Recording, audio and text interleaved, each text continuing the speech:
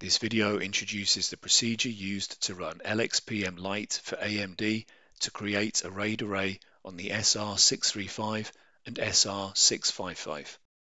Log in to ThinkSystem System Manager. Select Remote Control. Select Launch H5 Viewer. The console redirection window will then be displayed. Turn on the server and then press F11 to boot from LXPM Lite. Select RAID Setup. Click Manage Disk Drives.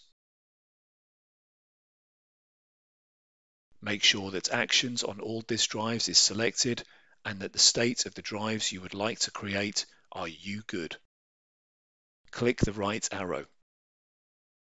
The screen will revert to the original RAID setup page. Click the right arrow to continue. LXPM offers two types of RAID configurations. The simple configuration uses the recommended configuration parameters. In the advanced configuration, users can make parameter selections.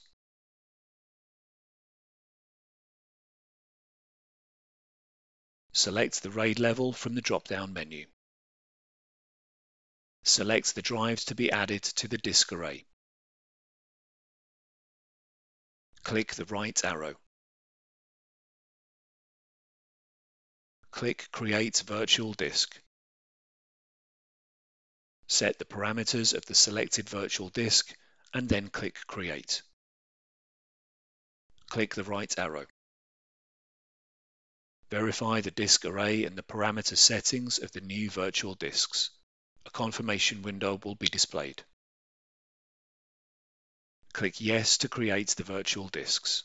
When the process is complete, a success message will be displayed. Click the right arrow.